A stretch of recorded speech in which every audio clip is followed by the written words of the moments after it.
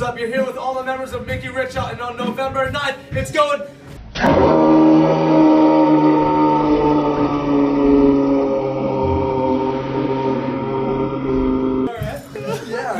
There's gonna be some. Somebody's fault. Somebody's fault.